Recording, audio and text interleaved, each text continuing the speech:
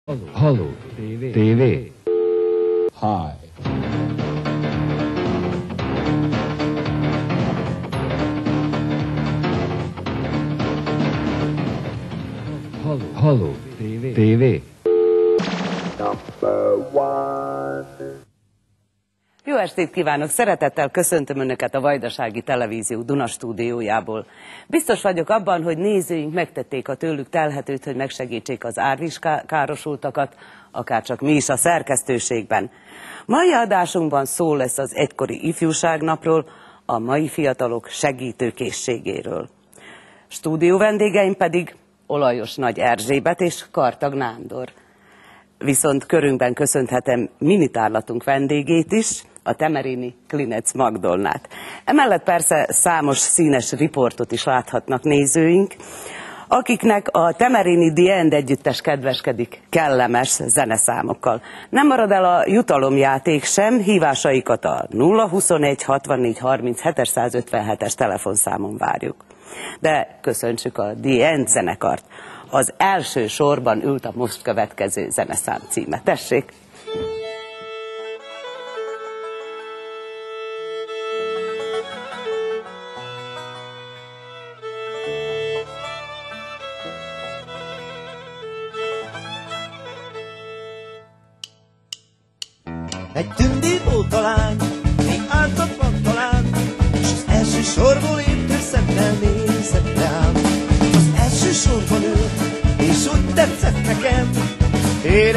Hogy ez már szerelem. És azt szerveztem el, mert mosolygott felém, hogy a koncert után autogramot kérek tőle én. És a fényképet, ha ad, és nem küld rögtön el, az ágyon fölött az övé lesz a hely. A koncert után eltűnt a lány, nem láttam azóta sem.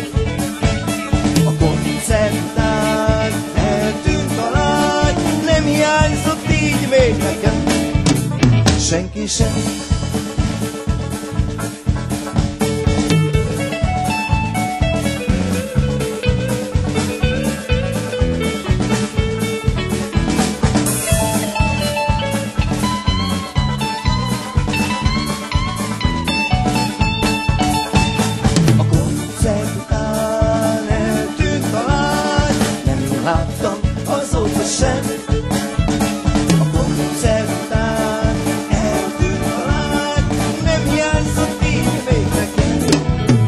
Senki sem.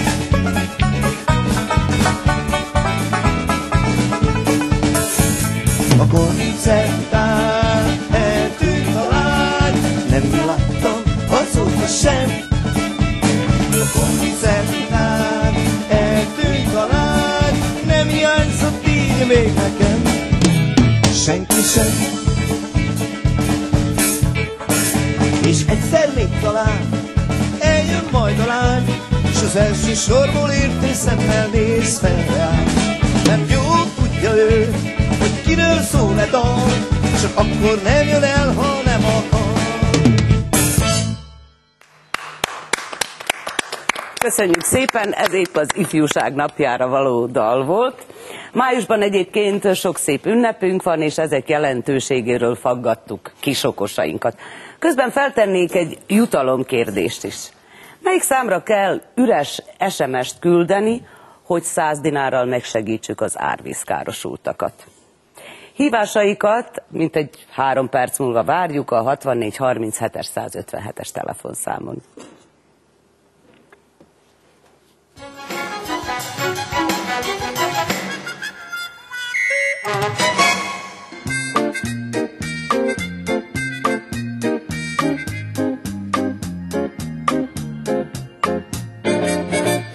Az én nevem Király Anett, és nagyon szeretem a májust. Május, május, a sidő csodasív, nézd csak, nézd csak, fönt a sík, csupa kék. Milyen ünnepek vannak májusban? A munkások napja, anyák napja, mikor nem dolgoznak az apukák, Hogy szoktuk azt a napot megünnepelni? úgy, hogy a munkások mm, elmennek valahova. Elmegyünk valahova, apáik elmennek sotérozni, és akkor én, én is én is szoktam neki néha egy kicsit segíteni valamiben, és akkor apa még engedje. Pecáztunk, sütkéreztünk, hordtuk a csutkat, a pincébe vágtuk kapával a fát, még takarítottunk. Néha süssük a húsat május 1-én, meg akkor egy kicsit esett a, az eső, meg, meg bementünk és ettük a süt krumplit meg a húsot. Voltunk palicson. Apával mentünk pecázni, meg, meg sütöttünk hamburgert, fogtunk halat, sütöttünk bográcsost. Apukámmal, meg az anyukámmal elmentünk a tatámon, és elmentünk pecázni. Volt májusban anyák napja is. Azt hogy ünnepeltétek? Szereppel, ajándékkal. Itt az óvodában anyukámnak készítettem egy nagy és szép műsort az egész óvodával. Készítettünk, a mamáknak is együtt eljöttek, és az a műsor világ körüli útról szólt. Virággal így az ágyába hozta a reggelit még. Hogy, hogy fáj a fogom, akkor az anyukám annyira kedves, hogy elmén a fogorvoshoz, megvizsgálják a fogamat, és akkor jobban lesz.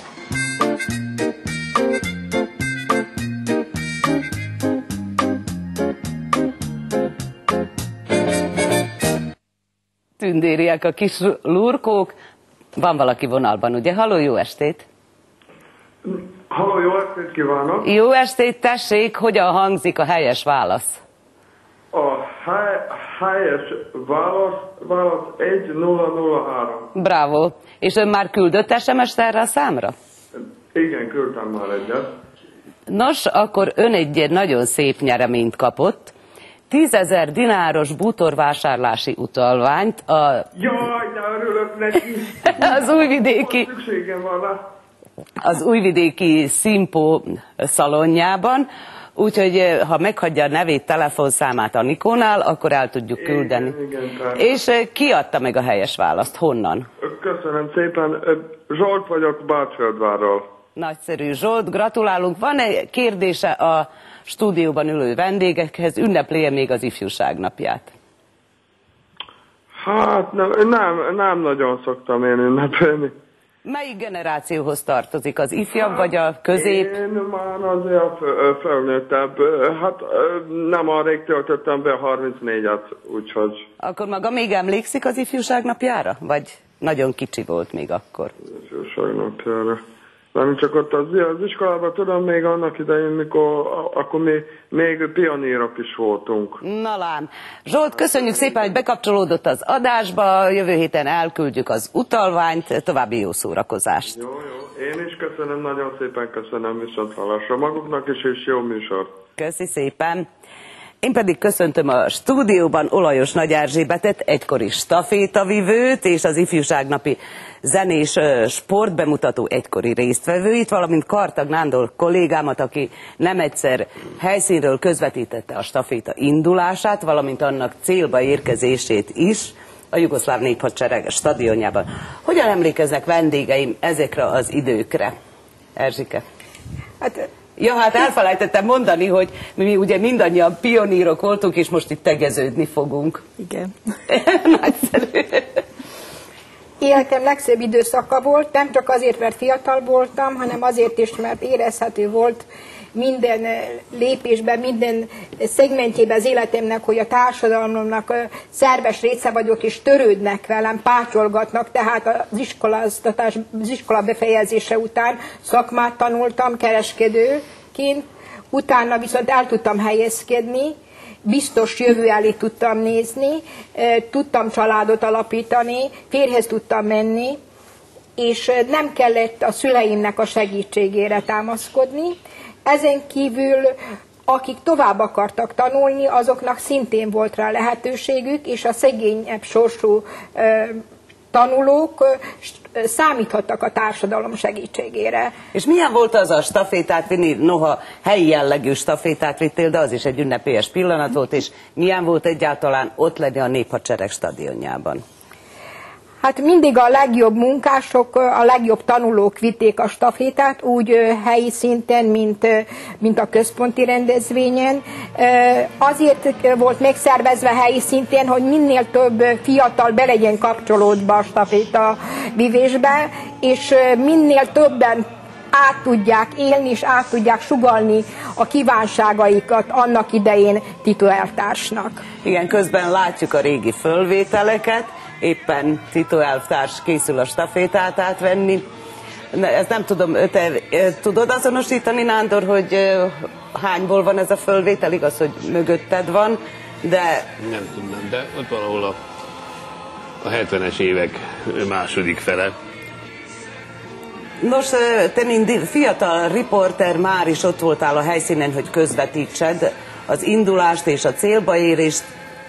Ez nagy felelősség is volt, vagy megtiszteltetés, komoly Hát feladat? megtiszteltetés volt mindenképpen, mert abban az időben a magyar az ötödik hivatalos nyelv volt a Jugoszláv Rádió és Televízió hálózatban, az úgynevezett JRT-ben, és így minden országos jelentőségű eseményről helyszíni közvetítést adtunk. Én 70-ben, eh, 1970. január 1-én kerültem a rádió és televízióba, 73-ban a televízióba. a És akkor már közvetítettél? Akkor még nem, akkor még a sportosok kivált, kiváltsága volt ez, úgyhogy Bence Lajos közvetített, néha is sportszerkesztünk. Viszont amikor már beindult a 75-ben az ifjúsági műsorunk, akkor természetszerű volt, hogy az ifjúsági műsor veszi át a sportosoktól, és onnantól kezdve, hát több mint egy évtizedig, ugye 75-től, nem, 76-tól ö, 87-ig, 87-ben volt az utolsó Azt staféta. már együtt közvetítettük. Akkor volt, amikor együtt is közvetítettünk, Igen. persze. És Magdolna is látom, hogy nagy érdeklődéssel kíséri. Van valami érdekes történeted? Igen, az én apukám 1948-ba esküdtek május 25-én, de mivel ő élsportoló volt Temerinbe, akkor délelőtt vitte a stafétát, délután pedig mentek az esküvőre. Hát ez egy valóban érdekes Igen. történet. Eh, Esetleg Nándor, te még szeretted volna folytatni? Igen, hát azt úgy, a, tulajdonképpen egy ö, általános ünnep volt a staféta, ha bár ö, manapság ugye történészek és kvázi történészek mindenfélét írnak a korábbi időszakokról, és persze besorolják, hogy ez a titói mítosz építésnek az eszköze volt, vagy a, ugye a személyi kultuszhoz tartozott. Ünnep volt mindenképpen, és nagyon jó ötlet volt az pont Titótól, hogy 56-ban azt javasolta, hogy ne a neki szánt staféta legyen, hanem május 25-e legyen a ifjúság napja. Mellesleg ez nem is az ő születésnapja, ugyanis a, a, ő maga is azt mondta, hogy május 7-én született, de még ez sem biztos, mert olvastam valahol egy történésztől, hogy mintegy 70, az illegális korszakban mintegy 70 álnevetés azzal járó adatokat használt. Tehát mert szerintem már ő maga sem lehet, hogy tudta, hogy mikor született. Na a lényeg az, hogy ő mondta, hogy május 7-én született, viszont ez a 25-e állandósult a Dörvári régi támadás emlékére. És Egyébként a, a staféta 45-ben indult. 45-ben indult, pontosan Krogéváciak indították, Igen. pontosan a, a Darvári eh, támadás mm. évfordulójára és azt a stafétát még Zágrábban adták át, a többit azt a déli dvorban 56-ig, és 57-től kezdődően a stadionban, a néphadsereg stadionjában. Egyébként Ersike, te pedig a ö, szerbiai, vagy nem is tudom, hogy nevezem, jugoszláviai titóközpontnak a titkára vagy, és ez a központ minden évben még mindig szervez stafétát. Hogy volt ez ma?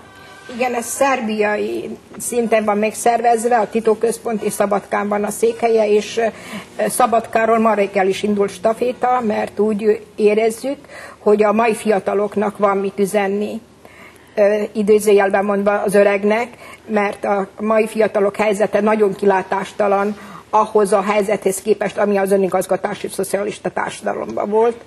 Ne beszélve arról, hogy az a dolgozók társadalma volt, az egyenjogúság társadalma. Biztosan, hogy voltak sok hibája is, de senki nem kételkedett abban, hogy legszebben éltünk azokban az években és azokban az évtizedekben az egész világon. Akkor most megnézzünk egy bejátszást, meghallgatjuk, hogyan vélekednek az óbecsei fiatalok és kevésbé fiatalok az ifjúság napjáról. Tudod-e, hogy egykor mit ünnepeltek május 25-én? Május 25-én?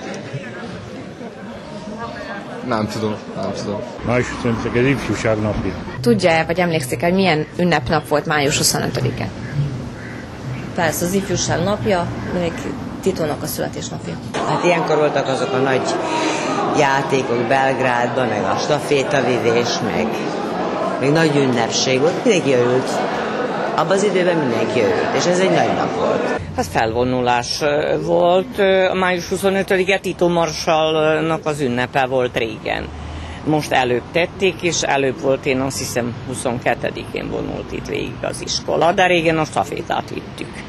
Örömmel, boldogan, azt nem is lehet elfelejteni. Nagyon nagy ünnepségek voltak, és akkor néztük a tévébe, ennyire emlékszem. Tudod-e, hogy egykor mit ünnepeltek május 25-én, vagy milyen ünnep május 25-én? Nem. Az ifjúság napja volt. Szerinted napjainkban ünneplik-e az ifjúságot? Hát szerintem nem, mert ugye magamból is kiindulva én se tudtam, hogy milyen nap, és a környezetem se tudja, tehát szerintem nem. Szerinted valahogy megünneplik-e ma az ifjúságot? Nem, mivel hogy nem tudok róla, szerintem nincs ez ilyen ö, kihangsúlyozva. Úgyhogy szerintem ez így valahol elveszett. Már az, hogy nem tudják sokan, hogy, hogy az ifjúság napja, szerintem eleget mond róla, úgyhogy, úgyhogy ha valahol igen, akkor is elég ilyen halványan. Tudom, hogy vannak ezek a májusi játékok, mint rendezvények, ezek maradtak mindig elég szép tradíció, de nem hiszem, hogy tudják egyáltalán, hogy ki volt Tito. Azok, akik ünneplik ott a városközpontban. Megünneplik valahogyan az ifjúságot szerinted? Hát, nem tudom, nem hiszem, mivel én nem ünneplem, úgyhogy nem, nem tudnák róla mondani most. Tehát valaki valahogy ünnepli, de nem tudunk sokat róla. Így külön programokat nem mondanák, amik az ifjúságot ünneplik. Szerintem ugye a hétvégéken, amikor összeülünk, azok szerintem már egy elég, hogy egy elég jelentéssel bírnak, hogy mi vagyunk, mi, mi vagyunk, és hogy if, ifjúsághoz tartozunk. De a fiatalságot, meg minden más persze, hogy ünnepelnek, de a, szerintem senki nem tudja, hogy pont május 25-én van a napja, de azért ünnepeljük persze. Hogyan?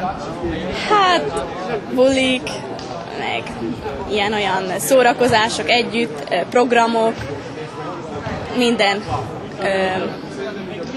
Jön a szép idő, táborozások a szabadba, jön a nyár, fesztiválok, medence, minden, bármi, bármilyen módon lehet.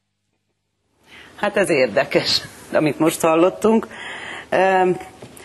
Talán át kellett volna menekíteni valamit azokból az értékekből mára, hogy mégiscsak voltak annak a kornak is pozitívumai, még pedig nem kevés.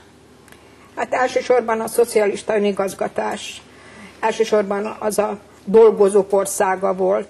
Elsősorban itt van az el nem kötelezett politika, itt van a testvériség, egység, ami nem elavult, ma úgy lehetne mondani, hogy tolerancia, vagy egymással élés, nem Ma- egymás mellett élés. Egyre többet emlegetik most az árvíz kapcsán is, hogy valójában az árvíz most el a határokat, és ismét eh, megpróbáltunk segíteni egymáson a bajban.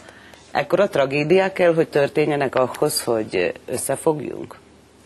bizonyára csak tényleg attól, hogyha a társadalomnak nem egy szélesebb körű összefogása, és más alkalmakkor, nem csak a mostani árvíz károsult, károsuláskor meg kellene szervezni újból az ifjúsági munkaakciókat, mert rengeteg minden van az országba építeni és csinálni. Látjuk, hogy mennyire el vagyunk maradva. Most, ahogy megyünk Európa felé, mind jobban lehet érezni, hogy mennyire le vagyunk maradva, úgy a tudomány, úgy az infrastruktúra, úgy a ö, gyerekeknek, például a fiataloknak nincs egy nap szentelve az országba ifjúságnap. Tehát sok mindent kellene csinálni, és biztosan, hogy azokon a munkaakciókon a fiatalok jobban megismernék egymást. Majd Egymás a munkaakciókról bővebben még a másik részben. Nándor, te még szerettél volna említeni valamit a 80-as évek kezdetéről? Két ifjúsági staféta maradt meg úgy az emlékezetemben, amire te is emlékezhetsz. Az egyik Igen. az 1980-as volt, amelyik Újvidék főteréről indult. Ha jól emlékszem, 150 ezer ember kísérte ki az útjára, és Erről van fölvételünk is, majd megkérem a rendezőt, hogy játsza Szilágyi. László, Igen. fiatal, akkor fiatal szobrászművészünk készítette több mint három és ez az, több mint három és fél kilós staféta volt, és ez volt az a staféta, amelyik megszakította az útját, mert Horvátországot járta éppen, amikor Tito meghalt, és akkor ezt elhozták Belgrádba, és Ravatalára, Ravat- Ravatalánál helyezték el.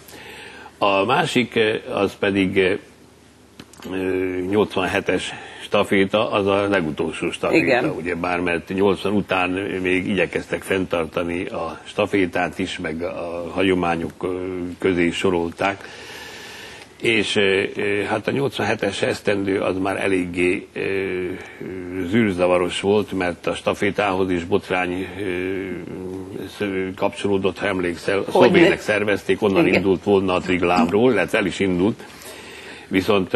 Ott voltunk mind a ketten, látszik is a fotó. Igen, ez volt a Bohinska Bistricán, laktunk akkor ott ugye a Triglav mellett. A ö, csoport, a forgatócsoport is, meg hát mi is, akik közelítettünk. És akkor a szlovének egy plakátot adtak ki, amiről aztán kiderült, hogy a, Náci. egy 43-as ö, náci plakát másolata, és tehát már- akkor, akkor boml- bomladózóban volt az egész, és ez a staféta még eljutott Belgrádba, meg volt a központi ünnepség, És de 88-ban utána megszűnt. már ö, 87 után már nem volt több ifjúsági staféta. Igen, hát a beszélgetést folytatjuk, mert úgy hiszem azért fiatalabb, idősebb nézőinknek egyaránt eh, érdekes meghallani ezeket a tapasztalatokat. Most egy zeneszám következik, utána pedig a török rivierára kalauzoljuk el önöket. Riporterünk Bóka Ida az antáliai partvidék egyik kedvenc üdülőhelyén Belek városában járt. De előbb The Ring of Fire.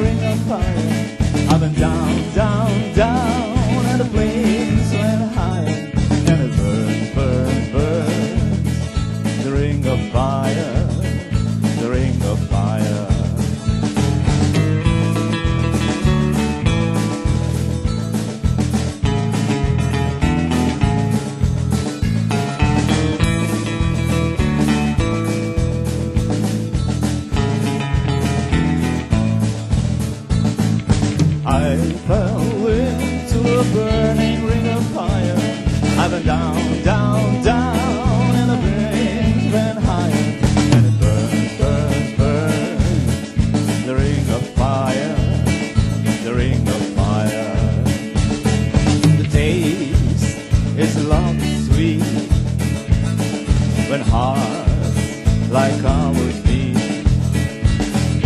I fell for your light to shine.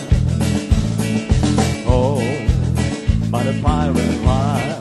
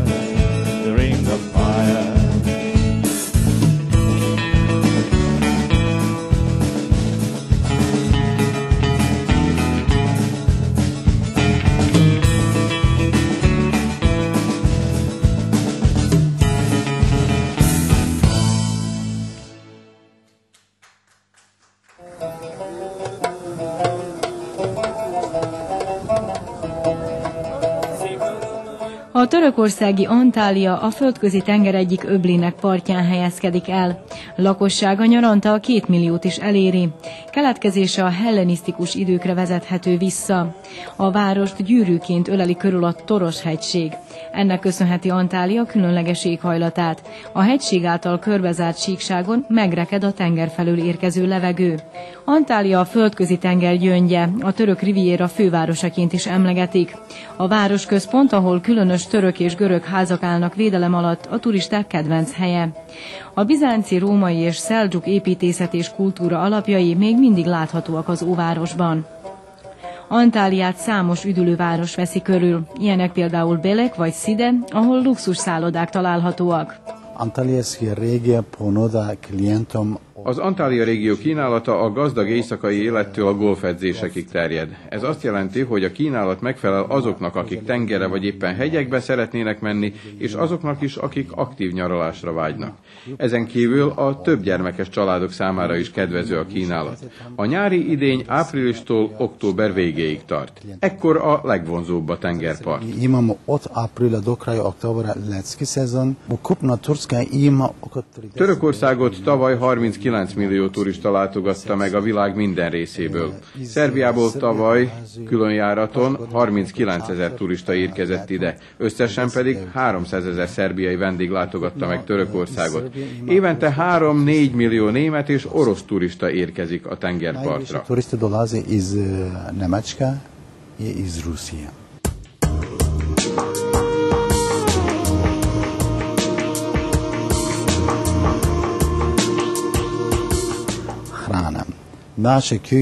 A szerbiai turisták nagyon szeretik a mi konyhánkat.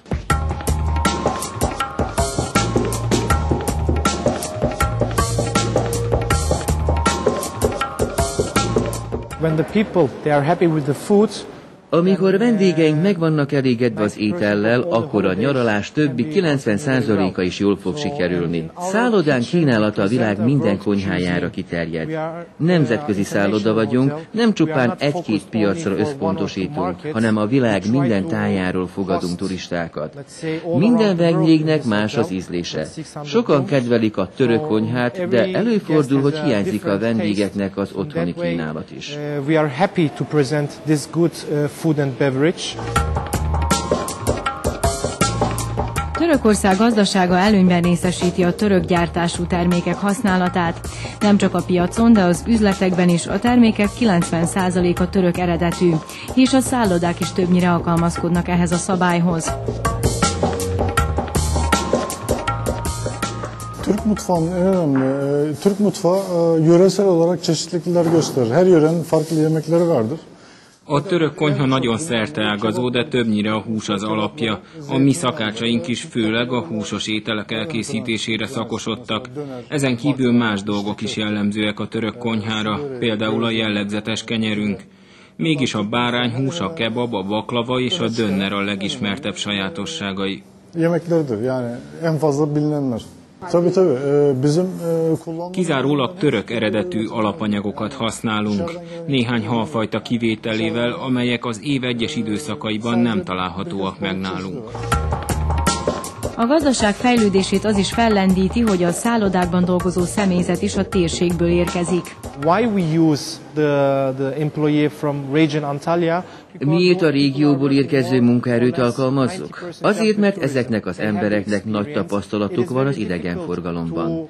Nehéz máshonnan érkező munkaerőt alkalmazni, mert nem áll rendelkezésünkre elegendő idő ahhoz, hogy bevezessük őket a turizmus titkaiba. A már tapasztalt személyeknek csak apró tippekkel kell szolgálnunk ahhoz, hogy tökéletesen el tudják végezni a rájuk háruló feladatot. Mi smo imao do kraja marta oko 85% klijente rezervisali. Március végéig a szerbiai vendégek 85%-a öt csillagos szállodákat foglalt le. Ezek az ügyfelek jobb ellátásra vágynak, és ezt meg is kapják. Nyaralhatnak más országokban is, de nem ezért a pénzösszegért, amiért itt teljes ellátásban részesülhetnek. Ezt az európai turisták is tudják. A Törökországban teljes ellátású nyaralást fizetnek be, akár pénztárca nélkül is útra kelhetnek, mert itt mindent megkapnak. Az árak eltérőek idényen kívül egyes szállodákban 300-400 euróért is lehet teljes ellátással egy hetet eltölteni, míg a luxusvillák bérlése akár 2000-7000 euróba is belekerülhet, méghozzá csak egy éjszakára.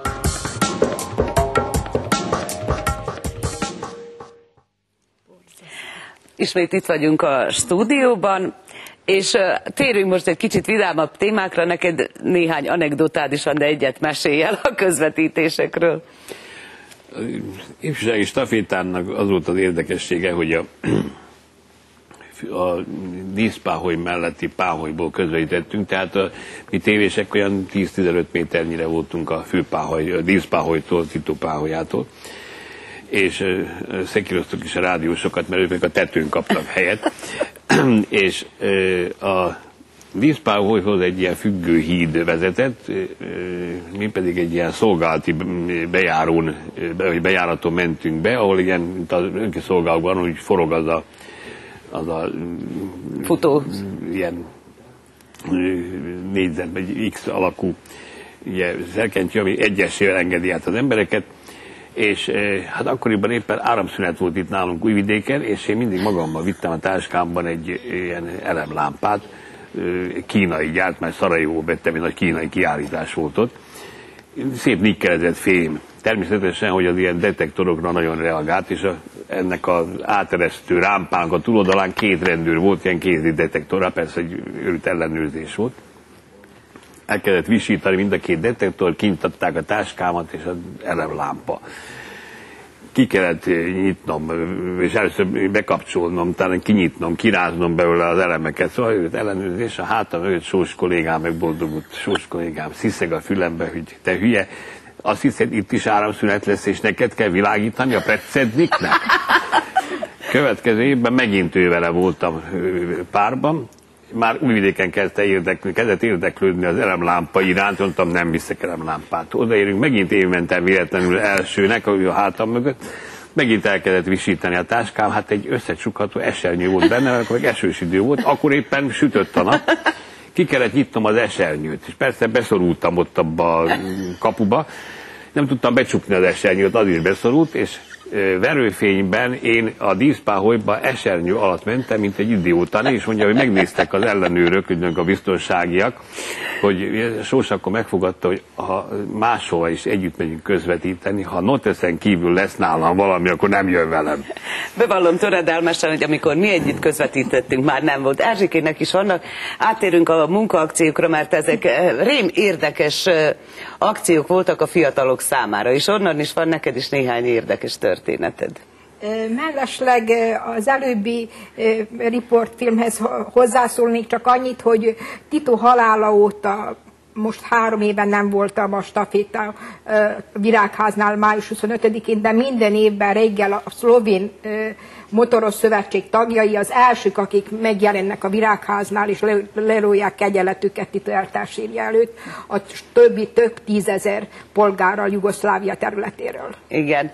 És te is voltál munkaakció résztvevője is, ugye Igen, voltam háromszor Palicson, és egyszer Jasenovácon, és hát több érdekes esemény fűződik, és nagyon sok szép élmény, és örökké tartó barátságok születnek. Többek között Jasenovácon történt az, hogy az unának a vize fertőzött volt, és így az ivóvíz is befertőződött, és a brigádtagok rosszul kezdtek lenni, és akkor kivizsgáltattuk a vizet, és rájöttük, hogy szennyezett a víz, és hát gyorsan cselekedni kellett, meleg volt június közepe, a fiatalok pedig szomjasak, mert dolgozunk, és mit bírtunk tenni, mint hogy sört adtunk a brigádtagoknak. Minden brigád vásárolt magának négy-öt gajba sört, láda sört, és azt adtuk, ad, még nem érkezett a vízciszterna, tiszta vízzel, még normális, hogy a városokból is utána kaptunk segítséget, hogy vásároljunk tiszta, tiszta vizet. Hát épp erre akartam az imént is már kitérni, hogy abban az időben nem volt valahol gond, hogy túlzott alkoholfogyasztás, vagy drogfogyasztás, stb. Most az utóbbi időben annak voltunk szemtanúi, hogy a fiatalok nem csak, hogy érdektelenek, helyenként agresszívak is. Ez a kép nagyban változott az utóbbi pár napban, hiszen kiderült, hogy igenis, ha szervezik őket, segítőkészek, együttérzőek. Igen, hát mi emberek már alapjában úgy vagyunk teremtve, hogy társadalmi lények vagyunk, és segítőkészebb a fiatalok, még főképpen csak rájuk kell mutatni, és normálisan szervezni kell őket, és tudni kell kellőképpen viszonyulni hozzájuk. Nándor, szerinted végig kísérted ezt, mint riporter és mint szerkesztő is. Hol történt a hiba tulajdonképpen, hogy elvesztek az értékek, és az ifjúságra nem menekítettük át kellő mértékben. Szerintem ott, amikor azok, akiknek kellett volna, felhagytak azzal, hogy foglalkozzanak a fiatalokkal, mondván, hogy ugye a Szocialista Ifjúsági Szövetség az akkori az elavult. elavult, és ugye túl kell haladni. Viszont mint annyi sok minden mással, amire azt mondjuk, hogy most ez most már nem kell, most már ez nem lesz, nem gondolkodott senki azzal, hogy azért mi, mi kellene mégiscsak helyébe, vagy valami. Most különböző pártoknak vannak ifjúsági szervezetei, ilyen alosztályai, alosztályai nem tudom micsodák, ami hát egy bizonyos számú fiatalt azért mozgósít, ad neki valami értelmes munkát, feladatot, csak ennek egy szépség hibája, hogy ezek általában csak a saját pártjuk érdekeit tartják szem előtt, és valahogy ilyen pártmentes ifjúsági szervezetre azért szükség volna. Most nem a pionír korszakot hívom, mégis írom vissza, de egyszerűen nincs megfelelő érdekszervezette a mai ifjúság. Most viszont a sportminisztérium arra készül, hogy valamiképpen beszervezi az ifjúságot, hogy nagyszabású munkaakciók révén hozzuk rendbe azokat a károkat, amelyeket az árvíz miatt szenvedtek. A... Ez az, hogy ez, ez nem az a régi hagyományos munkaktől, ahogy én értettem, hanem itt fizetnek is a fiataloknak, illetve a munkakorba is beszámít, ha jól tudom. Tehát valami módját keresik ennek a nagy deal Igen. mintájára, úgyhogy valószínűleg, hogy lesz értelme. Lesz értelme. Még egy jó dolgot mondtál te, Erzsike, hogy a finn modell a 3T. Mondjuk el ezt, hogy... Hát igen, én azt mondom, hogy ez az, ebbe az országban a rendszerrel van a baj, mert a fiatalokkal nagyon kevés van törődve, és azért is vannak az ilyen különböző elfelülések, mint a különböző függőségek élvezete, mert nagyon elhidegültek a társadalmi gazdasági viszonyok, és a fiatalok nincs egyszerűen, hogy kihez forduljanak. Finországban úgy tudom, hogy legboldogabbak a fiatalok, többek között azért, mert ott érvényesül a 3T, és egymással kapcsolatban van, az pedig a tudomány, a tolerancia és a technika többek között minden fiatal olyan szakmát és olyan iskolát bír tanulni és megtanulni, és felelősséggel tartoznak a tanári kar és azok, akik meg vannak velük bízva, amit szeretnének. Tehát ha valaki orvos akar lenni, akkor annak megadnak mindent, hogy orvos legyen. Ha ékszerész, akkor elutasítsák olyan útra, hogy ékszerész legyen. És utána munkahelyet tudnak nekik biztosítani, tehát tudnak tervezni, és tudnak biztos jövőt látni maguk előtt. Pár év, két évnek ezelőtt Beográdban volt egy értekezlet európai szintű, és kiderült, hogy a világon, vagy Európában, a többi országokban fiatalok azzal vannak elfoglalva, és azzal, azon gondoskodnak, hogy hova mennek nyaralni, milyen hétvégi rendezvényeket rendeznek, hova mennek telelni, a mi fiataljaink pedig azzal vannak elfoglalva, hogy be tudják felejezni a tanulmányukat, mert az édesanyjuk vagy az édesapjuk fölmondást kap, és nem tudja a család őket többet finanszírozni, mert így is rengeteg lemondással iskoláztassák tovább a szülők az szegény gyerekeket. Én valahogy abban reménykedek, hogy most ez a nagy baj talán ö, észre térített bennünket. Mit szólsz, Nándor? Hát reméljük. Reméljük. Minden esetre én úgy hiszem, hogy hallhattak a nézők, akár a fiatalabbja vagy idősebbje hasznos tanácsokat tőletek, és nagyon szépen köszönöm, hogy megosztottátok gondolataitokat a nézőkkel. Én csak azt üzenném az ifjúság napja alkalmából a fiataloknak, hogy világ fiataljai egyesüljetek. Mert Neked... egységben van az erő. Ez igaz. És senki nem fog kiharcolni, hogyha saját maguk nem egyesülnek, és nem néznek szembe a nehézségekkel. Nos hát akkor nem marad más hátra, hogy mi meg az ifjú kollégáknak hasonló jókat kívánjunk, és inkább szép rendezvényekről készítsenek helyszíni közvetítést, mint hogy az árvíz károsultakról kapcsolódjanak be a híradóba.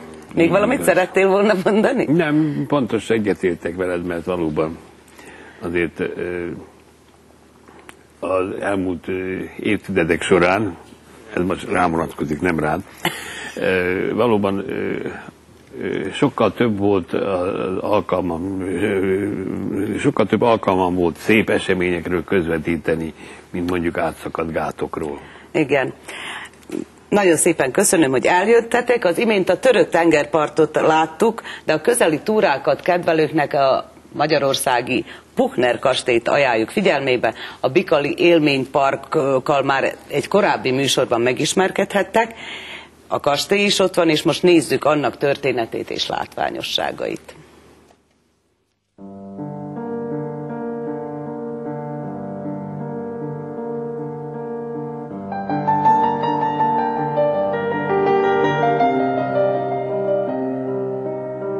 A Bikalon található kastély megépítése a Selmecbányáról származó Puchner Antal Szaniszló nevéhez fűződik. A gondolat, hogy birtokhoz jusson 1839-ben erősödött meg benne, mivel tőkéjét biztonságban szerette volna tudni. Az uralkodó 1841-ben adományozta a három falut magába foglaló Bikali uradalmat a tábornoknak a katonai sikerei elismeréseként. A családi levéltár szerint Puchner Antal báró 1841 májusában látogatott először birtokára. Ekkor még a településen sem kúria, sem kastély nem volt. A báró beleszeretett a mecsek lábánál a hegyhátlankái között megbújó birtokba, és az 1840-es évek végén egy kastély építésébe kezdett. Ennek pontos időpontjáról nincsenek adatok. A családi archívum is csak egy adalékkal szolgál erre vonatkozólag. Ez szerint, amikor 1849. szeptemberében a tábornok fia Hannibal ellátogatott a birtokra, arról számolt be apjának, hogy az épület áll, és csak az emeleti részen maradtak még kisebb belső munkálatok.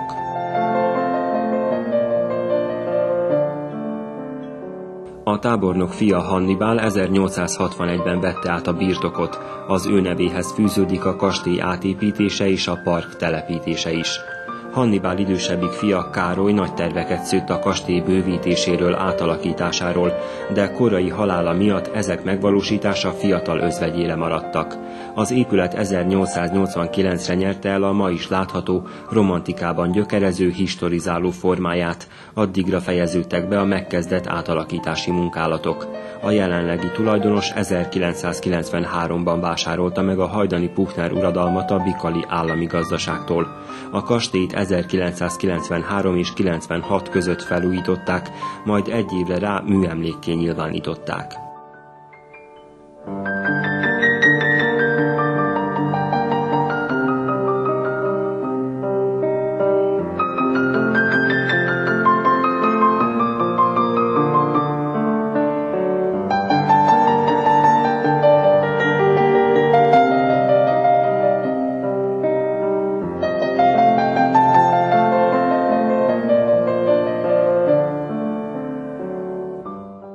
A Puchner birtok legújabb szállásrészében a több mint 6000 négyzetméteres reneszánsz palota szobáiban és lakosztályban a Mátyás király korabeli főúri kényelem várja a látogatókat. Az épület falfelülete a jellegzetes reneszánsz korabeli falfelület képzést imitálja. A lakosztályok egy része nyitott fürdőszobás, amely szintén jellemző volt a belső terek kialakítására a középkorban.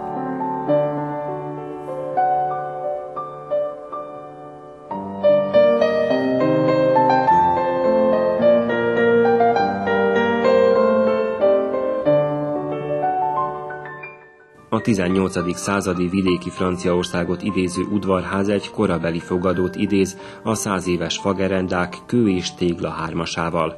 Magyarországon egyedülálló a szobákban látható gerendás faszerkezet.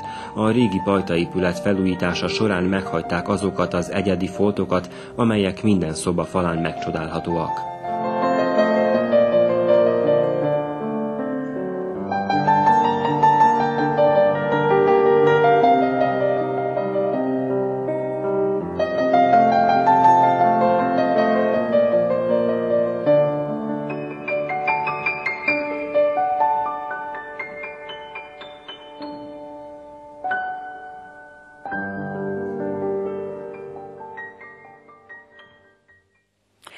Egy kis figyelmesség nevezetesen két halótévés póló fejében. Mint egy három perc múlva szeretném nézőink véleményét hallani arról, hogy mit tartanak a leghatékonyabb segélynek az árvízkárosultak esetében. Hívásaikat a 64 37 157-es telefonszámon várjuk, közben hallgassák meg Szenes Imán szerzeményét vendégeink előadásában.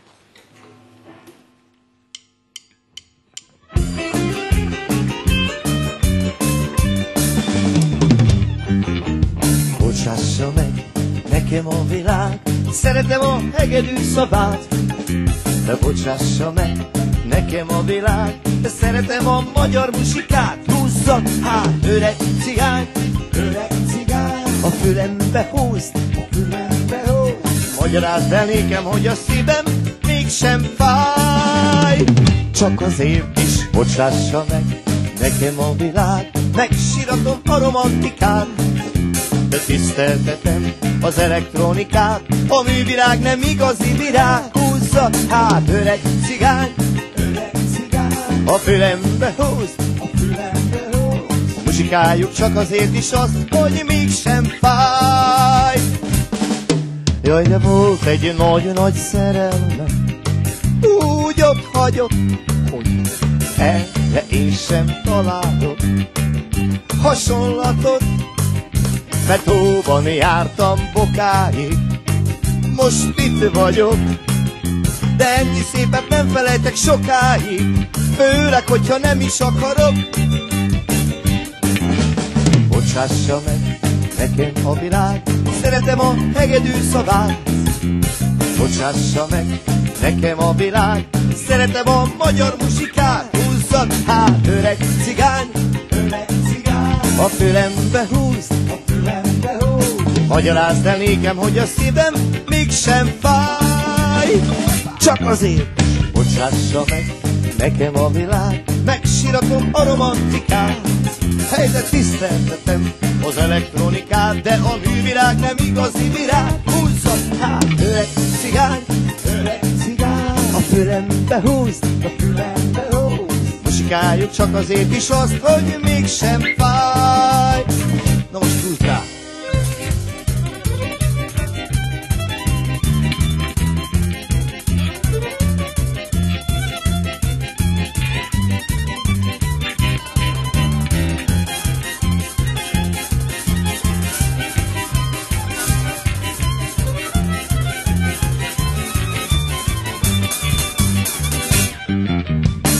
Bocsássa meg nekem a világ, szeretem a hegedű szavát.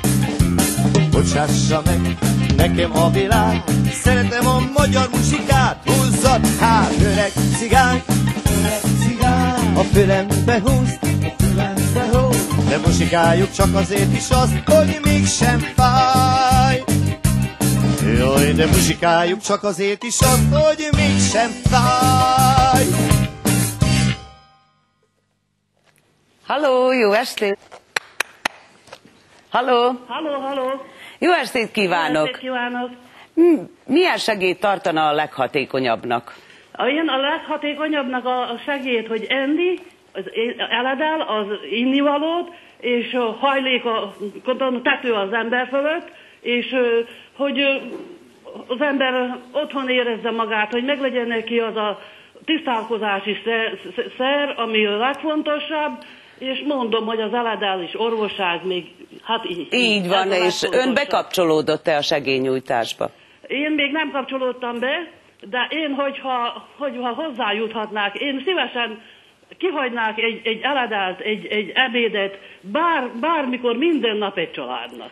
Eh, honnan jelentkezik? Hulláról. Kuláról és a neve? Erzsike, egy rendszeresebb hallgató, és tudtam az első választ is, de azt már kaptam, és mondom, hogy, hogy most nem is hívtam volna, hanem nagyon vágyakozok már 30, 26 éve ilyen pólóra. Nos, 30 most pólóra. kettőt kap, nem is egyet. De jó nagyot, már jó. Jó, jó nagy lesz Jó éppen, nagyot, XXL. Úgyhogy jó.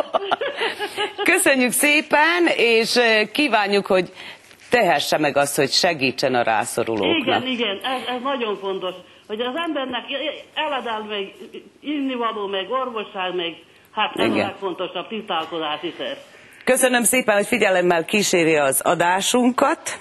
Címét, telefonszámát hagyja még Anikónál.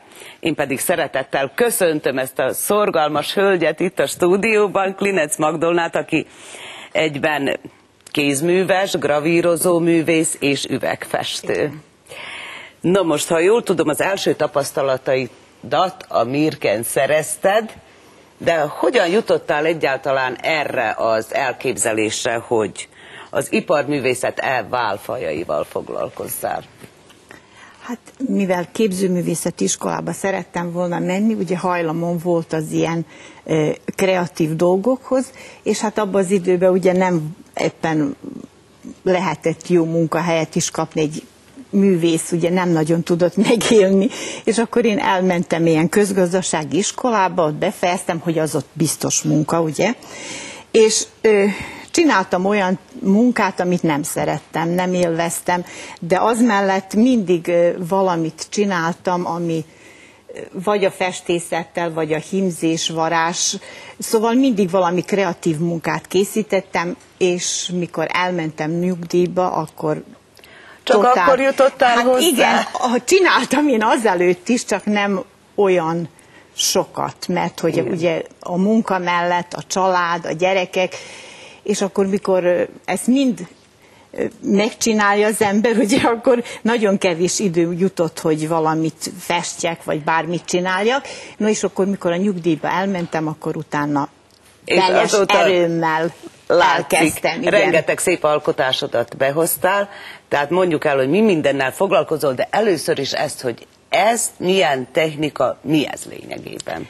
Hát ez egy valami új, ami nem hagyományos, ezt én az internetről néztem, és mivel szeretek mindig Talán olyan mutassuk dolgokat... meg a kamerának is.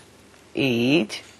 Akkor így látni is fogják, hogy ez egy rámára feszített... Sejem. Sejem. A sejem meg van alapozva, lehet tiszta sejemre is, de én most ezt így kiszíneztem, uh-huh. és sejem szallaggal uh, hímzek rá különböző virágmintákat, ami nincs lerajzolva, csak saját magam elkezdem, és akkor végén egy kép lesz Egy belőle. háromdimenziós hímzés. Igen, igen, mert mivel hogy képeket csinálok, akkor valóban egy mélyebb rámába kell tenni, mert hogy magas, és akkor, hogy megvédj, ne- az üveg, ha rányomódik, ugye akkor eltorzul a kép.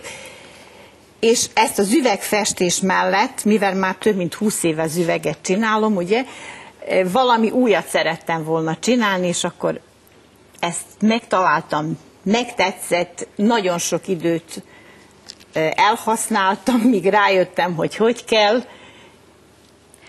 Na most a tányérfestéssel is foglalkozol. Igen, a porcelánra. Igen. Üvegfestés, üveggravírozás. Tojásfestés. Igen, hát uh, itt látjuk a, az első plánban, ahogy Igen, mondják, itt igen. vannak a gyönyörű tojások, Ö, nyilván, hogy húsvétra nagy keletje van. Igen. De, De külön- ha jól hallottam, te rengeteg művetet elajándékoztál. Hát igen, elajándékoztam sokat. Hát 20 ennyihány éve már csinálom, és akkor volt alkalmam. Pedig ez jól jönne kipótolni nyilván a nyugdíjat is, no, vagy de most hát már azért az értékesítem, és én nem csak Igen. ajándékozom, úgyhogy vannak eladással egybe kötött kiállítások. igen, igen.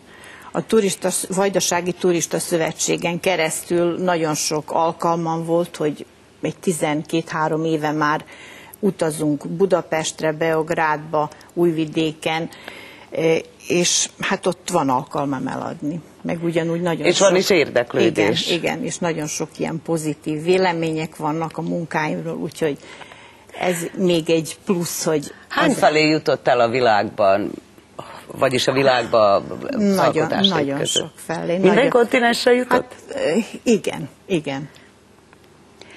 És te mindig valami újat is kitalálsz, nem? Hát igen. Mert általában úgy, én csak olyan szeretek csinálni, ami valami egyedi, meg amit nem csinálnak sokan, azért kezdtem ezt Hol is csinálni. szerzed be az anyagokat? Erre? Igen. Hát ez egyszerű. Sejem meg lehet vásárolni brőfös üzletekben, sejem Igen. szalagot szintén, csak annyi, hogy hát ugye ezt Egy el kis- kell készíteni, egy kicsit be kell festeni, nianszírozni, és akkor utána kezdődik az És alkotás. az üvegfestéshez a festéket, azt itt szerzett? Igen, most már itt. Most már itt, ugye? Mikor kezdtem, akkor Németországból, akkor utána Magyarországról, és akkor most már itt van Újvidéken is, úgyhogy itt is be lehet szerezni. Mondtad, hogy szinte minden kontinensen található műved. Igen. Most csak egy kicsit megszakítjuk a beszélgetést, mert egy földid riportját fogjuk lesugározni. Móricz Lajos, aki Igen. Kanadában él, lehet, hogy neki is vannak. van. Hát most ugye? neki nem tudom, de Kanadában is van nagyon sok. Ő pedig mindig szívesen küld riportot a Haló TV-nek. Kanadában a hosszúra nyúlt tél után végre be- beköszöntött az idegenforgalmi idén kezdete. Lajos most egy olyan brit-kolumbiai idegenforgalmi nevezetességet mutat be, amely az arra vetődő európai turistákat is mindig odavonza. A riportot egy zeneszám követi, utána pedig folytatjuk a beszélgetést Magdolnával.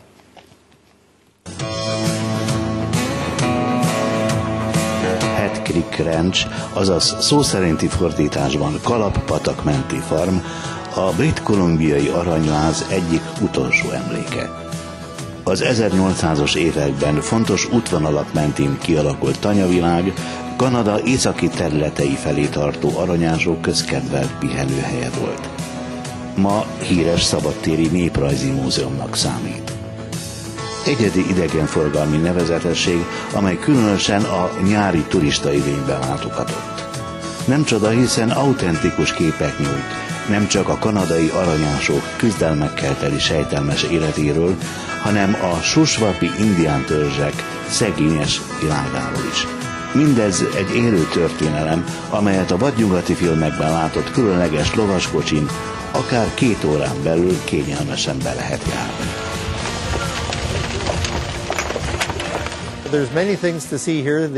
Nagyon sok a látnivaló. Itt van például az 1860-ban épült történelmi jelentőségű fogadó és üzletház, a Megannyi lovasistáló.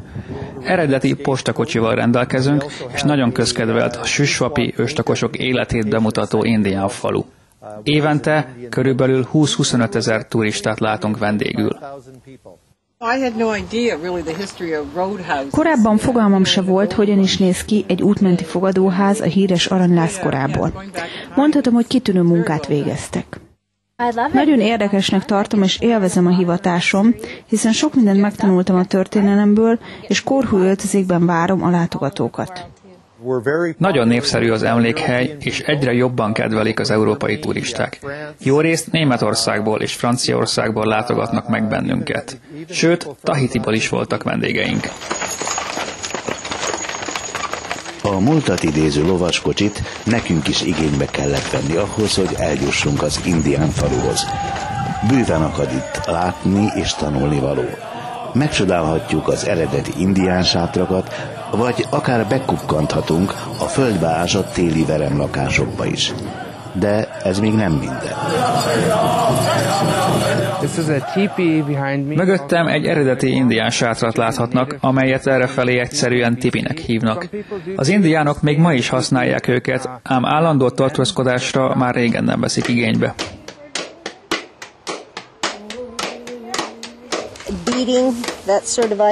A színes döntfüzérhez csak tű, cérna és döntszem kell. Egy kis ügyességgel bárki megtanulhatja. Ez egy egyszerű kézzel készített merítőháló. A halfogás másik formája a szuronyhalászat volt. Csónakokba szálltak, és fákjafény mellett keresték a halakat, majd gyors mozdulattal végeztek vele.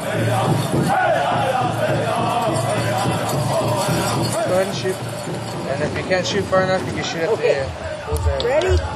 Go. Kanadában még legalább 25 hasonló szabadtéri néprajzi múzeum van, mint amilyen a Head Creek Ranch. S valamennyinek nem csak turista csalogató szerepe van, hanem fontos ismeretterjesztő és oktató nevelői feladatokat is betöltenek.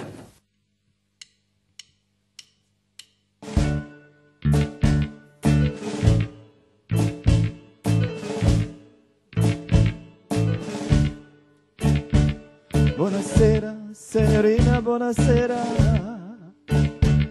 It is time to say goodnight to Napoli. Though it's hard for us to whisper buonasera with an old moon above the Mediterranean Sea. In the morning, Signorina we'll go walking. The mountains have the sun coming to sight. But the little jewelry shop will stop and linger Where I buy a wedding ring for your finger? In the meantime, let me tell you that I love you. Buonasera, signorina, kiss me goodnight. Buonasera, Signorina, kiss me goodnight. Ba ba da ba da ba da ba ba ba da ba dee ba dee ba dee ba da ba dee ba doo. Buonasera, Senorita, buonasera. It's time to say goodnight to Napoli. So it's hard for us to whisper buonasera. But hello, all aboard to Mediterranean Sea. In the morning, signorina we'll go.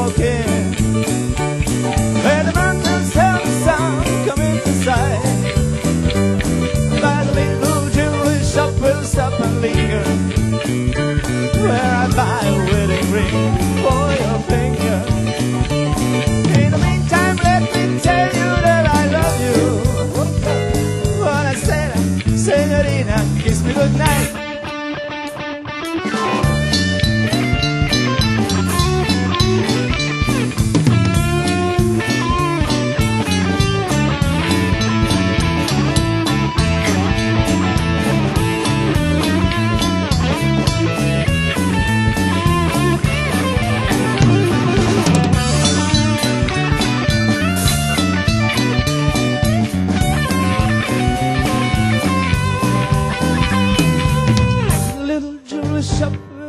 And linger where I buy a wedding ring for your finger. In the meantime, let me tell you that I love you. Buonasera, signorina, kiss me goodnight. Buonasera, signorina, kiss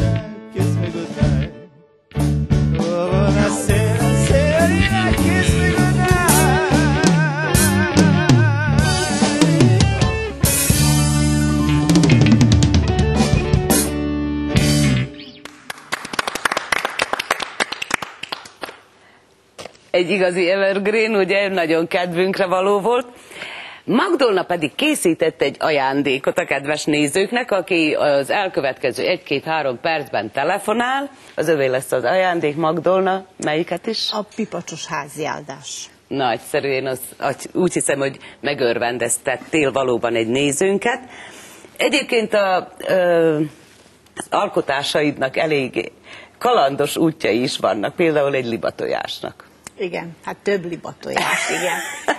Mivel hogy a libatojást ugye nálunk Vajdaságba készítettem, akkor mentem Budapestre kiállításra, ott egy olasz vásárló, aki minden évben engem külön fölkeres, az megvásárolta, és Brazíliába küldte az ismerőseihez. No, Úgyhogy hát. ez egy ilyen hosszú utazást csináltak meg az én libatojásaim.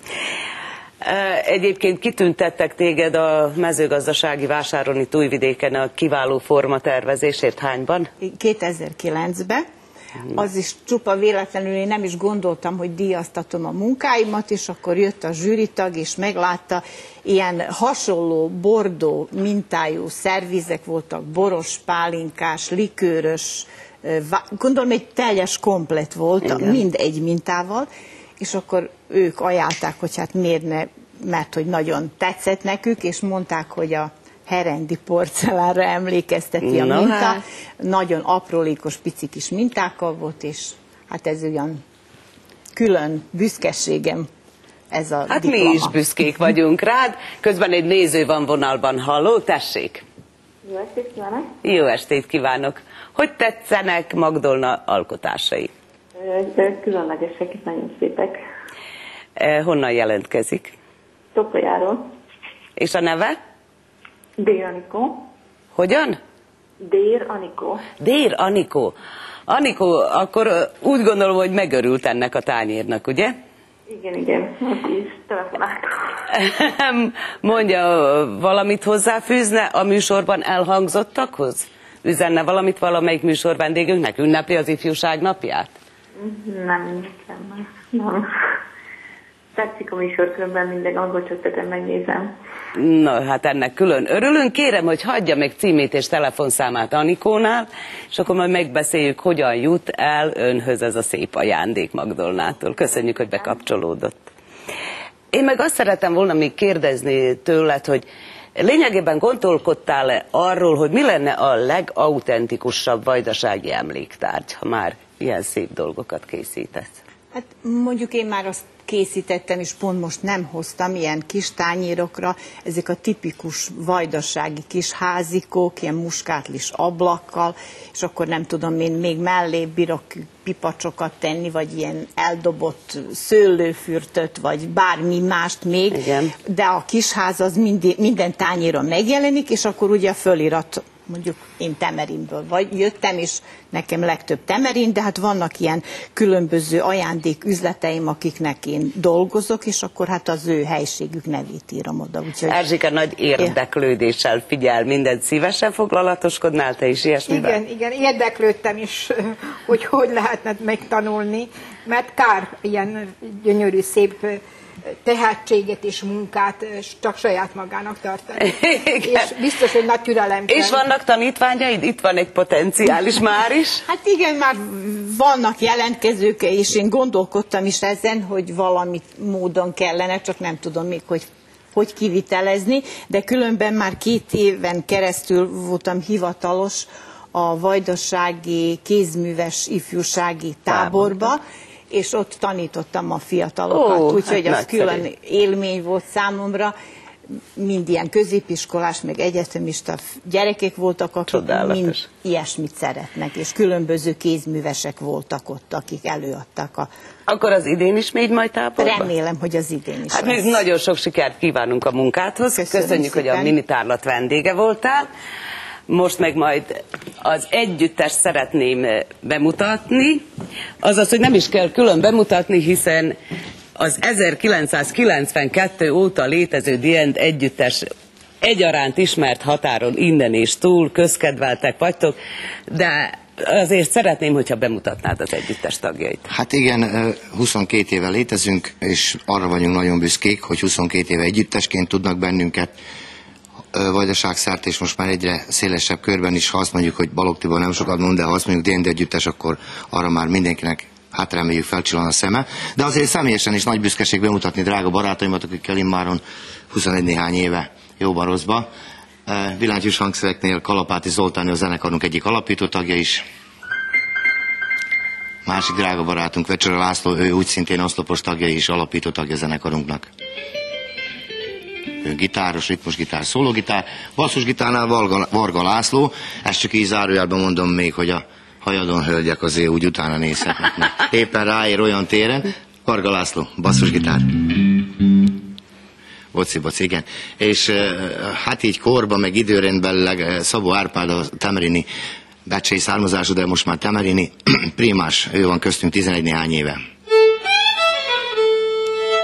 És a zenekarunk legfiatalabb tagja, úgy szintén hajadon, büszkén mondhatom, lányok figyeljetek, ő már mindenképpen hajadon. Úgyhogy eh, Doboknál Kollár László, ő a legfiatalabb, de le, ne, nem jelenti azt, hogy tapasztalatlanabb zenész.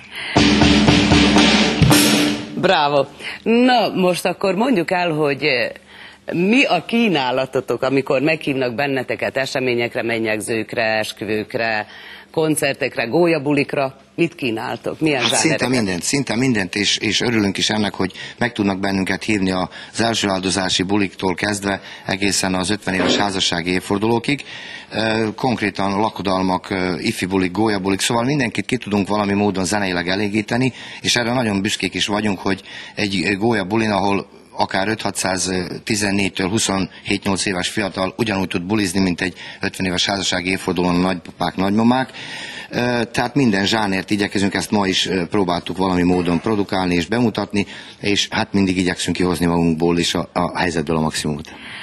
A CD-k most már nincsenek divatban, hiszen a számítógépről leveszik a zeneszámaitokat, Persze, ugye? sajnos, hát mi hatig jutottunk, hat CD-t produkáltunk, ott valahol leragadtunk egy eh, 7-8 évvel ezelőtt, mert egyszerűen ez a mai, mai médiavilág olyan, hogy egyszerűen letöltendő netről akárhonnan az emberek hozzájutnak, és egyszerűen nincsen benne eh, viszont túl, túl nagy a befektetés anyagilag, hogy az ember ilyesmit elkészítsen, és még mindig azt mondom, hogy nekünk az a fontos, hogyha valahol tudunk menni személyesen, és látjuk az emberek arcán, hogy jól érzik magukat, ugyanúgy, mint tegnap, ugyanúgy, ahogy reméljük ma este a tévénézők, ugyanúgy jövő héten, majd Becsén, vagy aztán Egerbe, vagy akárhol. És ö, megint csak azt mondom, hogy nagyon büszkék vagyunk arra, hogy, hogy szinte Magyarországot keresztül kasul most már járjuk, Vajdaságról nem beszélve, mindenhova oda megyünk, ahova hívnak bennünket. Sajnos sok meghívást és felkérést nem tudunk elfogadni, kevés a szombat és a vasárnap együtt. Ez igaz, mert egyébként más foglalkozásotok is van. Persze, alapból nem vagyunk hivatásos zenészek, egyikünk sem. Tehát van itt köztünk a diáktól egészen a, a pénzügyi tanácsadóig minden, a vállalkozón keresztül a földművel, szóval minden van. Ez egy, ez egy hobbi, ami, amit szívből csinálunk, és, és óriási szeretet van a zene és ez a maga, maga az együttes iránt, mert, mert ez abból is látszik, hogy 22 éve csak egyetlen egy kényszerváltoztatás, ami tagokat illeti, szóval nem változtunk, ugyanolyan szépek vagyunk, mint 22 éve, csak picit igaz. deresebb a hajunk. Persze, meg hiszen picit- a Halló TV-ben meg egy- sem először igen. léptek fel, meg egyéb műsoraimban se. igen. Dicsérlek benneteket, Köszönjük, mindannyian persze, nagyon jó esik ez mindenkinek. fessek vagytok, nagyon helyesek, úgyhogy gondolom, hogy imád benneteket a női közönség minden tagja. Lányom meg a feleségem biztos, hát a többit. Legközelebb becsén látnak benneteket, és utána nyáron. Nyáron szintén járjuk egész, egész Vajdaságot és Magyarországot, hétvégente szinte két-három fellépésünk van, itt, itt falunapoktól egészen a, a lakodalmakig, szóval mindent, mindent válunk, ahova felkérnek bennünket, és ahol a zenénkre, és erre a fajta és erre a minőségű zenére szükség van, és ahova hat ember oda tud férni, mert a mai világban ez sem elhanyagolható dolog, dolog hogy egy, egy bizonyos helyszínre hat ember nagy zenekarról oda pakolja. Jut-e idő főzésre otthon, vagy érdekle benneteket egyáltalán? Persze, jut, igen, hagynám minden a főző asszony otthon nekem is, meg a barátaimnak is. Szerintem rajtam meg is látszik, mert nagyon szeretek, de azért egyébként viccet félretéve nem mondom, hogy nagy, nagy szakács vagyok, de azért egyet-kettőt már én is főztem több-kevesebb sikerrel, úgyhogy tehát most természetesen a titkokat nem árulhatom, mert olyan emberek is nézik ezt a műsort, akik aztán ezzel visszaélnek. Ugye, Na de van? mi elárulunk most néhány titkot. Most a főzőcske következik a fiatal sportolók számára igen fontos az egészséges és helyes táplálkozás. A főzőcskében ezúttal a Tótfalusi Nyers István Sportakadémia kollégiumának fiatal szakácsát ismerhetik meg, aki tapasztalt kollégájával karöltve minden nap nagyon finom ínyentségeket készít a tanulóknak.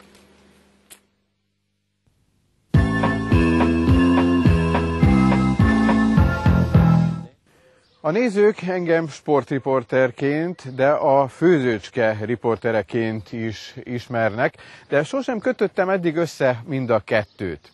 Pontosan ennek céljából látogattunk el Tótfaluba, a Sportakadémiára, ahol a kollégium szakácsával, Cseh Árpáddal beszélgetünk majd.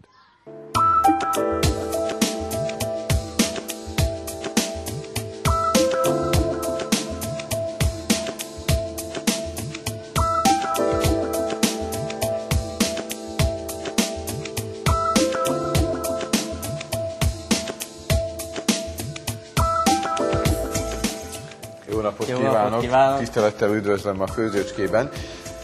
Mint minden szakácsot önt is megkérdezem, hogy mikor fedezte fel önmagában a főzés iránti érdeklődést? Hát ez már nagyon rég, még az általános iskola kezdete után egyik tanárunk felajánlotta, hogy elvisz bennünket ilyen rendezvényekre, főzőversenyekre, gasztronómiai fesztiválokra, és ott jöttem rá igazán, hogy ez a szakma nekem nagyon megfelel. Mikor került ide a kollégiumba Tótfalura? Hát ide a kollégiumba rögtön, miután az iskolát befejeztem, uh-huh. utána a gyakornoki időt itt töltöttem le, Igen. és automatikusan, pontosan megmondva három és fél éve felajánlották, hogy legyek itt uh-huh. szakács.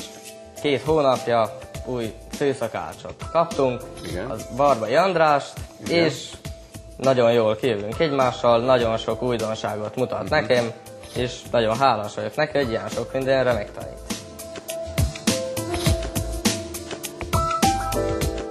Mit készítünk a Halló TV nézői számára? Hát a nézők számára a konyha főnök kedvencét készítjük el. Ez miből áll? Ez egy filézett csirke combból áll. A hozzávalók elsősorban ugye a filézett csirke comb, Igen. Amit, amit a pirítás során felhasználjuk a házi füstölt szalonnát, ami nagyon jó ízt ad neki. Majd természetesen a vöröshagyma, a gomba, cukkinitök, ami persze a körítés egy megy, paradicsom és paprika. Igen. Utána a húsra fog kerülni a sonka és a sajt. És ezt mindent ugye ízlés szerint ízesítünk. Így van, van erre egy külön fűszer, Igen. amit itt magunknak keverünk. Ez abból áll, hogy egy evőkanál vegeta, egy evőkanál só és egy kávéskanál bors. Ezt tehát keverjük össze. Jó, hát akkor fogjunk hozzá. Rendben. Elsősorban is szétnyitjuk a csirke mellett. Egy, egy kicsit megklopoljuk a csirkecombot, hogy a rostokat egy kicsit szétverjük, majd utána ebben a fűszer keverékkel picit megfűszerezzük, össze szellük a vöröshagymát apró kockákra, majd ezután összeszelljük a gombát is. Szellünk egy kis paprikát is a gomba a hagyma mellé. Ez fontos, hogy piros színű legyen, hogy jobban mutasson a töltelékbe.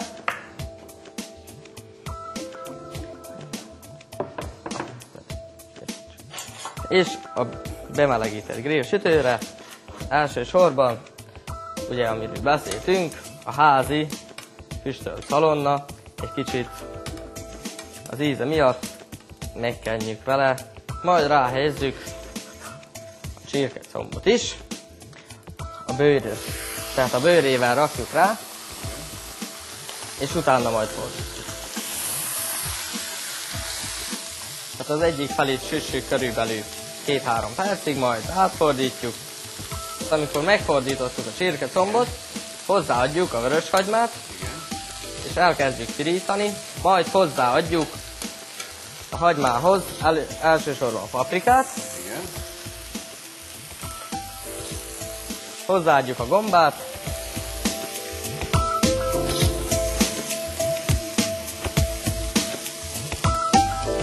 megfűszerezzük egy picit, a kevert fűszerrel, kiszedjük egy ilyen ö, tepszibe a csirkecombot a bőrével lefelé fordítva, és utána ráhelyezzük ezek a zöldségeket a csirkecombra.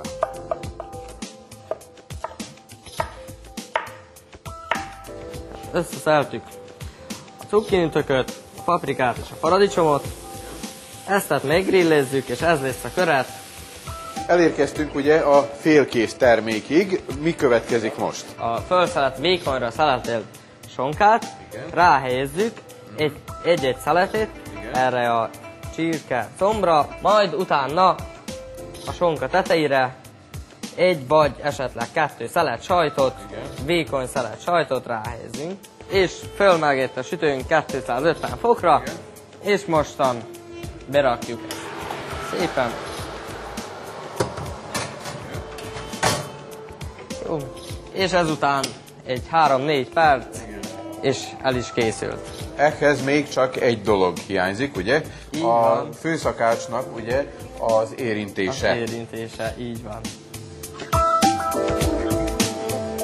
Ezek után pedig már csak annyi marad, hogy a nézőknek Jó étvágyat kívánunk!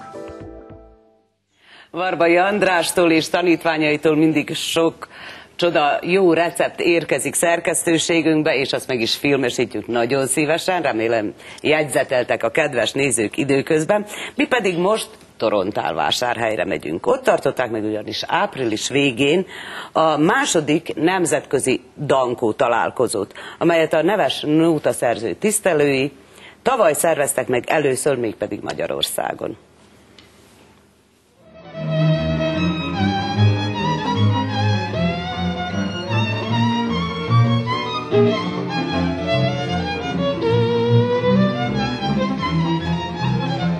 A Viga Fesztivál nyitózenéjével kezdődött Torontálvásárhelyen a második Kárpát-medencei Dankó találkozó, amelyel nem csak Dankó Pista halálának a 111 hanem Vitkai Gyula zeneszerző halálának a 41. évfordulójáról is megemlékeztek a nótaénekesek és a nótakedvelők.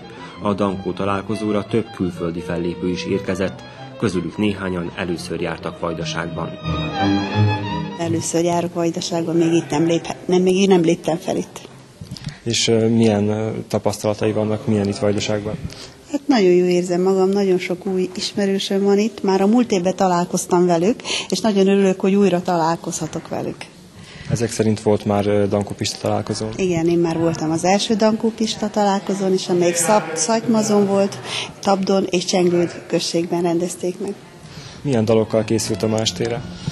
Hát én énekelek Dankó Pista dalokat is, és még választottam egy olyan dalt, ami a magyarságról, a hazaszeretetről szólott, ahol zug az a négy folyó. Mi alapján választja meg a, a dalokat egy-egy ilyen találkozóra vagy föllépésre? Hát e- először is a hangszínhez kell választani a dolgokat, amelyik jó áll az embernek, máskülönben meg olyan dalokat, amit a közönség is szeret. Nem vagy legény, Berci, nem vagy legény, Berci, nem mersz hozzánk járni. A pádanyád előtt az egész világevő, nem mersz megcsókolni. Nekem most ez az első találkozom, mivel hogy tavaly Szatymazon volt megrendezve, hallomásból tudok róla, azon nem voltam, és én most szereplek először a Dankópista nótás találkozón. Természetesen Dankó nótákkal készültünk, mivel hogy őt ünnepeljük ma, és Igaz, hogy van egy-két nóta, ami nem dankó nóta, de hát nehéz összerakni egy énekesnek olyan nótákat, amit mindegyik dankó ír, de lényegében mindenki azzal készült, és szeretnénk megemlékezni róla. Most vagyok itt először, és nagyon jól érzem magam. Nagyon szíves vendéglátásban volt részünk, tegnap is, ma is, úgy tudom, még holnap is, úgyhogy nagyon jól érezzük magunkat, és örülök, hogy itt lehetek. Hamis a rózsám, mindig kacsint rám szép szemével, csak Tavaly vettem részt először, Szegeden és Szatymazon volt a 40 éves évforduló megrendezve, és ott léptem fel először. És ott milyen volt? Nagyon jó. Nagyon teli élményekkel jöttem haza, nagyon sok embert megismertem, nagyon sok hírességet, jó énekest, tele élménnyel és tapasztalatokkal tértem haza. És mit vársz az idejétől, amit most itt Torontálvásárhelyen szerveznek? Azt hiszem az idei is jó lesz, amilyen neveket olvastam, hogy kik lesznek a fellépők. Hál' Istennek nem verseny lesz, hogy erős mezőnyt mondjak, de nagyon erős fellépők vannak. Hallad, rózsám, patika, patika, elle doktor, patika, patika, ha kell doktor, ha kell a patika, patika, telik a karomba. Itt Vajdaságban egyébként mennyire van kereslet a, a magyar nótára? Sajnos a magyar nótára nincs nagyon kereslet, de mi fiatalok, úgy, ahogy az idősebb korosztály is igyekszünk azon, hogy minél többet legyen keresletre. És uh, hol tudjátok megmutatni magatokat, hol tudtok fellépni? Nótaesteken, tagja vagyok Csókán a Bozóki Hecskó Károly dalkörnek. Tegnap is szerveztünk egy, egy tavaszi nótaestet. Kisebb helyeken, nagyobb helyeken, versenyeken is más mondjuk Vajdaságon kívüli versenyekre el lehet -e jutni, vagy el tudtak-e jutni? El lehet jutni Vajdaságon kívüli versenyekre. Magyarországon több versenyt is rendeznek a nóta énekeseknek. És te ezek közül részt vettél valamelyiken? Igen, részt vettem az idén a második Nóta Sztár versenyen. És ott milyen volt, milyen élményekkel tértél haza? Hú, húzós volt, ott elmondhatom, hogy nagyon erős mezőny volt, Bejutottam a döntőbe, ami nagyon nagy eredmény számomra, és a zsűri külön díjasa lettem.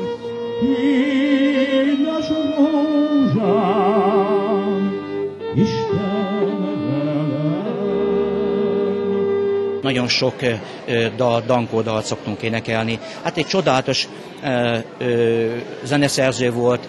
Egyébként, mikor énekli az ember ezeket a dalokat, nagyon könnyű énekelni őket, fantasztikus ívei vannak, amivel bele lehet állni egy énekesnek, hogyha teljes szívvel átéli ezeket, fantasztikus sikert tud adni, mivel hogy gyönyörűen meg van komponálva a szöveg is hozzá, illetve a dallam ívek is csodálatosak.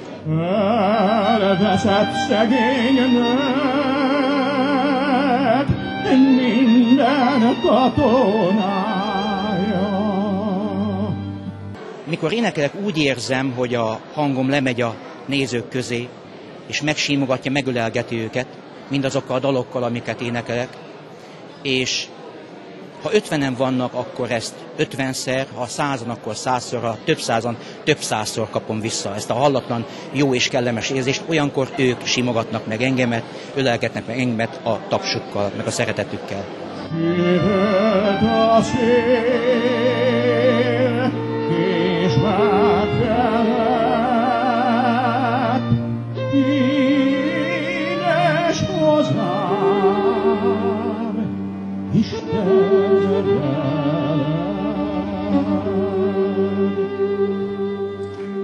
Dankó Pista Szegeden, a nagy dalköltő, Szegeden született, és Szegeden is van eltemetve.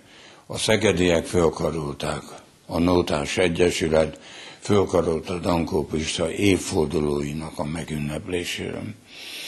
És utána eltaláltuk, hogy ki kell ezt bővíteni.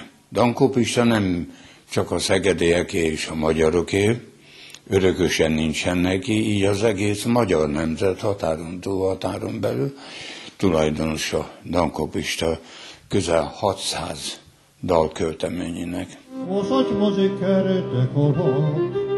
most is ott jár, Dankó Pista lelke. Tavaly Magyarországon szervezték meg az első nemzetközi találkozót, azzal az elképzeléssel, hogy öt éven keresztül minden évben más országban emlékeznek meg Dankó Pistáról.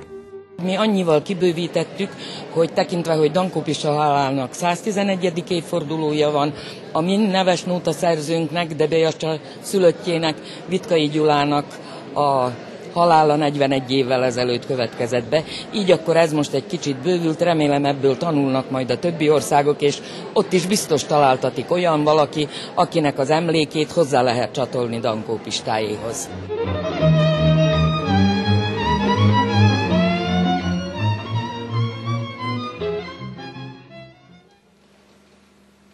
Ez volt családi magazinunk májusi adása. Adakozzunk továbbra is, hiszen az árvízkárosrótaknak erre még sokáig szükségük lesz. Vendégeinknek köszönöm, hogy eljöttek a stúdióba, zenész vendégeinknek úgy szintén családi magazinunkkal legközelebb június 22-én jelentkezünk. Addig is kevesebb gondot és jó egészséget. A viszontlátásra!